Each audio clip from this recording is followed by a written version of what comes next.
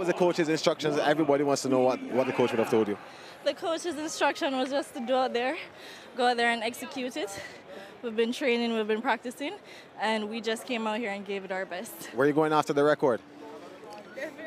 Yeah, there, yeah, we actually was, but you know, didn't get it, but we still ran a magnificent time, and we're very grateful for that. What does it feel like bringing home a gold medal for Jamaica once again? It feels wonderful because being able to come out here and represent our country as juniors is a very huge opportunity, and we're very thankful for it. Well, the boys are getting ready. Do you think they can make a, a sweep of these relays? I do, definitely. Yeah, and all of them are not in an agreement, so we will see. Let's head back up now to Ricardo and Terry. The boys, 200, well, under 20, 4 by one is on almost on the track. We'll, we'll be ready shortly.